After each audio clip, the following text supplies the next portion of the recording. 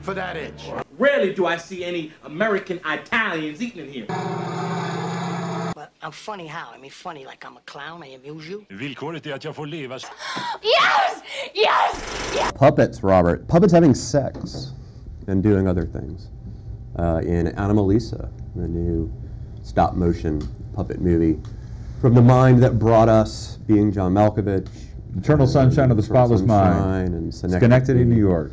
Uh, that would be Charlie Kaufman and his filmmaking partner in this case, Duke Johnson, have brought us uh, what you just described just a second ago as a funky little movie. It is a funky little 90 minute movie that I did not know if I was watching the funniest film of the year or the most tragically sad movie of the year. it's a little of both. I mean, Yeah. everything Kaufman touches is going to have some melancholy in it, and this is absolutely no it's drenched in it. no exception. Um, I guess we'll talk a little about the story, although it's kind of beside the point. I watched The Revenant just to get upbeat after watching after watching Anomalisa. So this is about a motivational speaker, uh, played voiced by David Thewlis, who I love. I've liked him for years. Yes. Um, who goes to? I'm sorry. Remind me of the city. Cincinnati. Thank you very much, Cincinnati, Ohio, um, for a speaking engagement, and he lives this very lonely existence. We can tell right off, which we see immediately in his hotel room.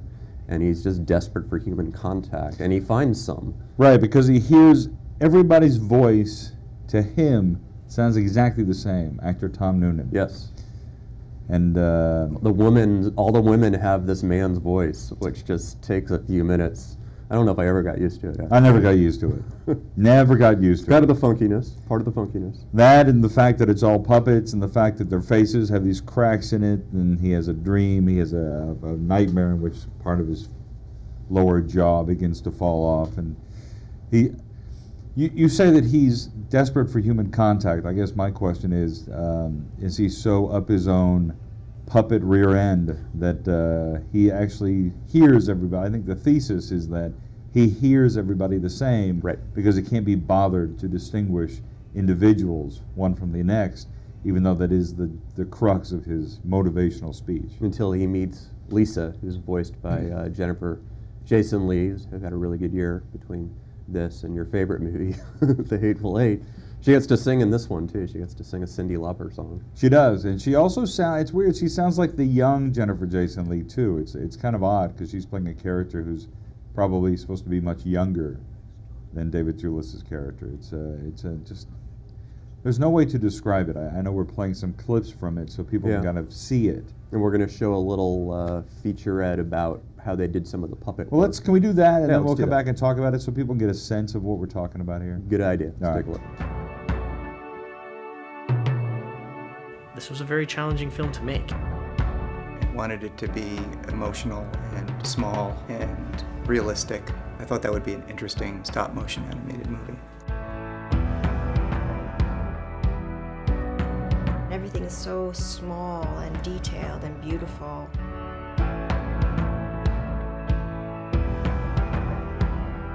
That's the thing about stop motion, like every single thing is made.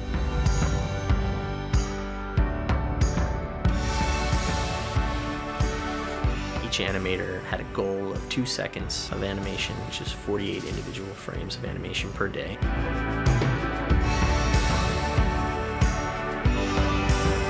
You're watching this thing that's been handmade, that's been created by by people, that's been manipulated by animators. You can see that and you can feel it.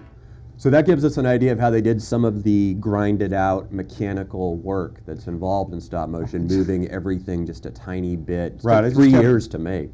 Right, it's like the world's longest episode of Davey and Goliath. Right, and we and we so we've seen this kind of stuff, of course, Ray Harryhausen and you know dinosaur movies and um, you know Frosty the Snowman and Rudolph the Red-Nosed Reindeer. It's not Team America. I think that's initially what people kind of thought of. Right, that was marionettes. Right. and uh, and this is a, more of a stop motion. Very human looking. very, very- human looking, and yet very artificial at the same time. They're reminding you that this is, in fact, an artifice. Right, because you, you could have done this live action. Yes, it was a radio play. Right. originally. There's no way this didn't need to be. You could have gotten away with it live action, and still, I think, in some ways, made a lot of the same points, and made it feel the same way. But you don't have that strange disconnect that you have from watching stop motion animation.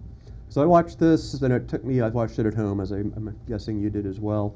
I did, and Um, thank God, because I uh, I had access to uh, the bar. Yes, all kinds of good stuff. Um, it took me about 20, 30 minutes to get into the flow. Yes. But once I did, I was there. I was mm-hmm. fully involved in this very strange universe. Once I get to the sex scene, I was totally into it. that's how these. That's how these things usually work for you. Right. Once I got to the hardcore sex scene, Yeah. I was really into it. With puppets, Robert. yeah. With puppets. Well, like, don't please. Like, I haven't done that in my house like once a week. Like, I'm not doing hardcore puppet sex at the house. I would be disappointed if anything else Right, well, were the case. That's why I totally, totally related to this. I hope people find this. I hope people are able to go see it and they're willing to do something different because we don't see a lot of animated or puppeteer kind of films that are dealing with such adult themes. No, look, it's just the saddest movie ever. I mean, it's, You said it was funny too.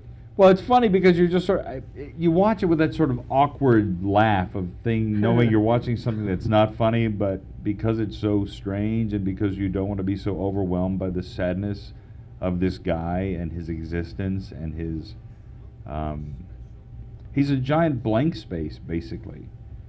I mean, And he has a little crack up during his motivational speech. Right. That just kind of reveals all of the torment and junk that's floating around. Yeah, he, I mean, he he's like all of us. I mean, you you sit there and you go, "I'm broken. I don't work. I'm." You know, this this is a movie that makes it tangible. I mean, anybody can sit there and sort of talk about. You know, I, I'm lost. I'm disconnected. I'm distraught. But to see it evidenced in this way, to see it made whole and real by these, and you can only do it with the puppets because you get to sort of do things with the human body that you don't get to do in a live action film. It's just look, I, I think he's made the I think Charlie Kaufman made to me at least my favorite romance of all time. I think Eternal Sunshine of the Spotless Mind is one of the greatest sort of hopeful romances of all time. That was my movie of the decade. He's not a hopeless romantic. He's a hopeful romantic. This feels more hopeless. I mean, it's got a it's got a bit of I don't want to give it too much away, but there may be hope for him uh, at the end of the film. But but it feels he feels more lost and adrift here. He's very much akin to Jim Carrey's character in Eternal Sunshine of the Spotless Mind. They're all seeking something. They're searching for something. There's hopelessness, but there's also this sense of this fleeting magic that even if it can't last, he Right.